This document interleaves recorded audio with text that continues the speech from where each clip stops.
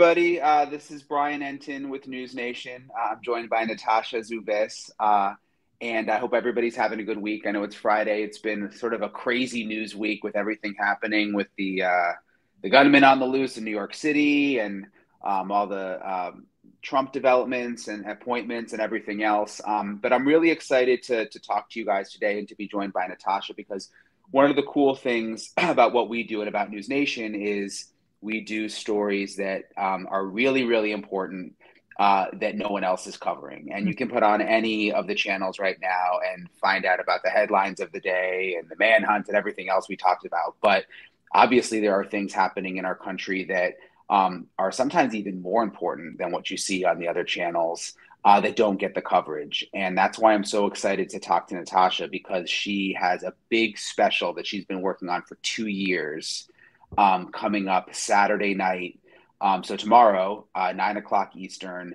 um, and it's called "Growing Broke: Forever Chemicals in America's Heartland." Um, and it's it's so important. It impacts all Americans, uh, and I can't I can't wait. I've seen a few little clips, Natasha, um, but give us a little bit of the lowdown what you've been working on for two years and what people can expect. Yeah, Brian, thank you so much. And I know that we've been talking throughout these two years as well, um, every milestone and step of the way. You know, this has been this this is one of the biggest stories that we're not talking about i think. And uh, to your point and for everyone listening right now there is a 97% chance that this chemical is already in their blood and they likely have no idea.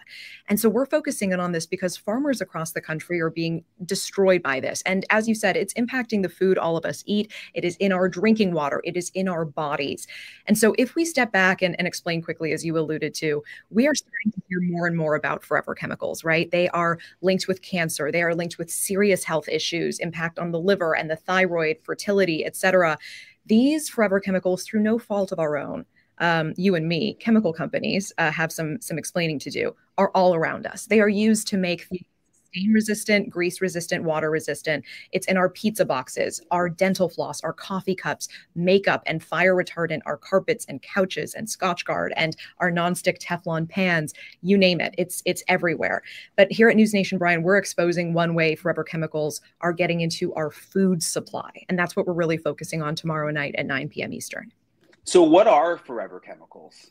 Yeah, uh, forever chemicals are a man made chemical um, that make things stain resistant and uh, water resistant and grease resistant, as we were just talking about. It's in all of these household products, all of these industrial applications.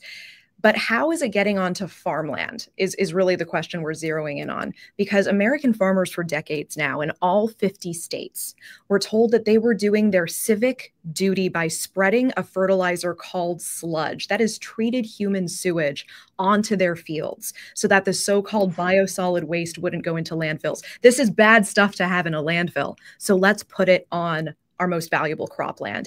And Brian, the EPA has never and still does not require this sludge to be tested for forever chemicals first. And so we're seeing farmer after farmer coming forward to News Nation now realizing their land is terribly contaminated with this human made chemical linked with cancer that never breaks down in the environment.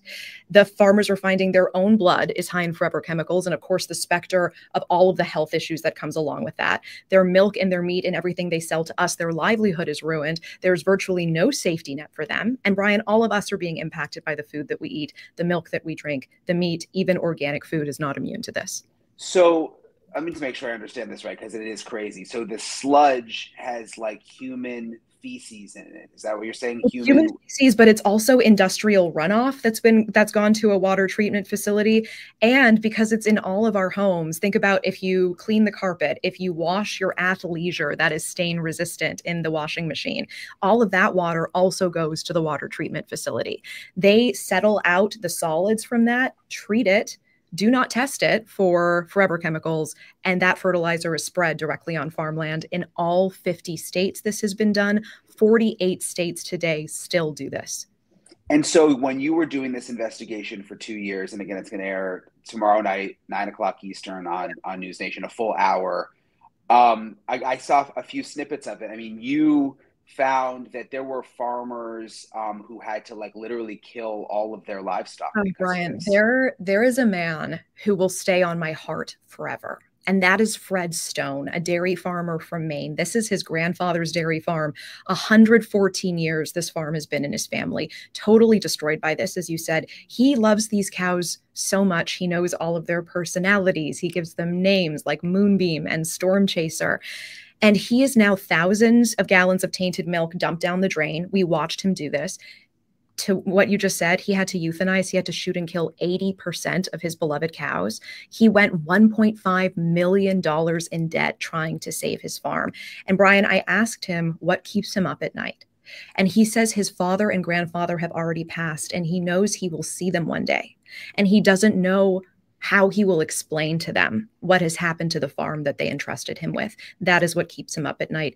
They thought he was an isolated case. He was told that he was just a unicorn. He was just the first. He's being called a hero now because. So how did he know? Like, how did he know Natasha? Random, yeah. So they're they're they fall into different categories. There are there are farmers like the rancher in Texas who I just spoke with yesterday, Tony Coleman. Um, where they're seeing their animals getting sick and die right in front of their eyes. He's had almost 50 of his animals die so far.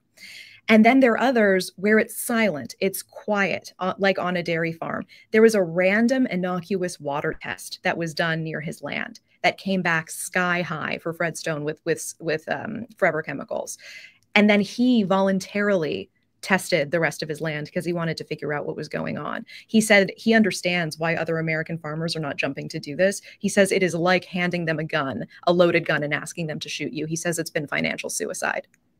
Oh, I can only imagine when you have to shoot and kill all of your your livestock and basically shut your your farm down. So that's that's dairy milk that we would have been drinking had it not been discovered exactly and you know we just don't know the level of pfas or forever chemicals that is in our food um, and it's in organic food because even if this land was sludged one time in 1950 or 1970 it is likely still there in the gets wicked up by the spinach or other things that grow on it. And just because pesticides are not put on top of that organic spinach, it doesn't mean the soil underneath it is not still heavily tainted with forever chemicals. Mm.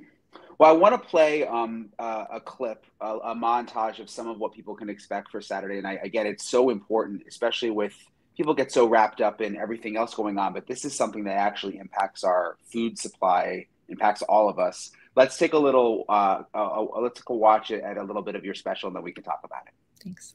EPA, FDA, political leaders, where have you been? How did you miss this? That now we have an entire country an entire country that could potentially be in peril from this forever chemical that's destroyed your land, destroyed our farming, destroyed our water, and destroyed public health and welfare.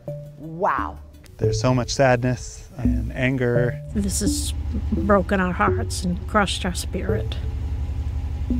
And I don't know if we'll ever get that back told their farms are shot through with chemicals linked with liver damage, damage to fertility, thyroid issues, and cancer. All of this land has been poisoned, water contaminated, all of these people touched by this Called forever chemicals because they are nearly impossible to destroy. Prime soil, crops, milk tainted in the heartland, leaving many farmers on the brink of ruin. Suicide among dairy farmers and farmers in general is incredibly high because a lot of these farms, a third, fourth, and fifth generation, you are going to be the person to lose it. Your great great great grandfather cleared the land, and you are going to be the person to have a bankruptcy auction because you can't hold on to the land.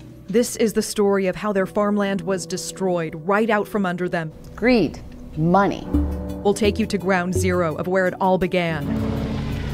You never wanted to be an activist. I just wanted to milk our cows and be left to hell alone. And show you how far back the paper trail goes. When they had the choice of do we go public with this or do we sweep it under the rug, they chose the rug. And with these chemicals now impacting 97% of Americans, according to the CDC, what you and your family need to know. I am glad News Nation is looking into this problem. All of us, the entire country, will deal with the fallout.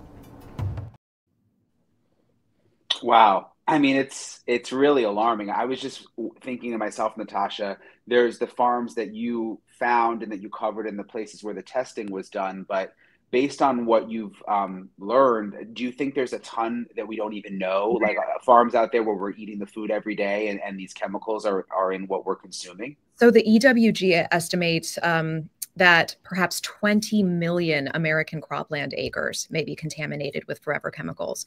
Um, we're talking about all 50 states. And 48 you you one thinks when we know better we do better. 48 states are still doing this right now and not only did we speak to erin brockovich who you saw you know in this piece of course made famous a household name by that julia roberts oscar winning movie um, you know as an advocate she is painting this as our next big fight. She says the storm is already here. And she points the finger not only at chemical companies, but at federal agencies, saying, EPA, other agencies, where have you been? You know, we, we hear her say this. How did how did you miss this?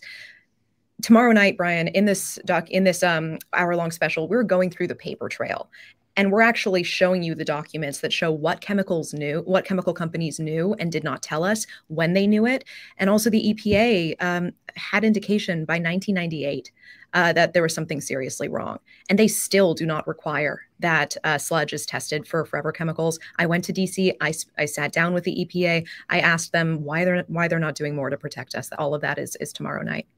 I just think about the current times and RFK Jr. Um, you know, as one of the, uh, the, the Trump nominees and and his issues with chemicals, and he's been calling this stuff out for for a long time.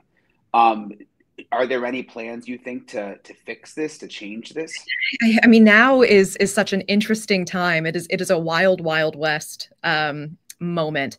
I don't think there is anything wrong with asking questions just because something has been done the same way for decades and decades and decades doesn't mean that it's right.